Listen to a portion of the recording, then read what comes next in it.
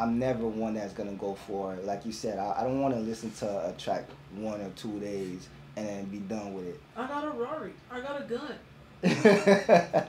you feel me? like that. got That got, shit don't make no sense.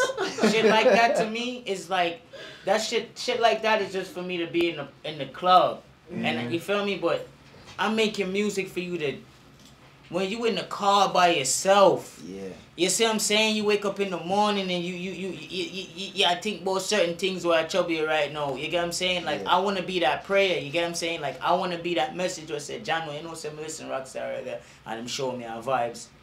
Yeah man, me look upon that situation yeah, differently through, to me listen to that song, yeah. Yeah. You get what I'm saying? Like Yeah. I wanna be that type of artist with within every aspect.